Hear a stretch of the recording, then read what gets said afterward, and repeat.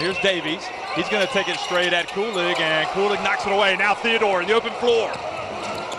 Drives in, puts it up. Oh, what a swat from Gladyr.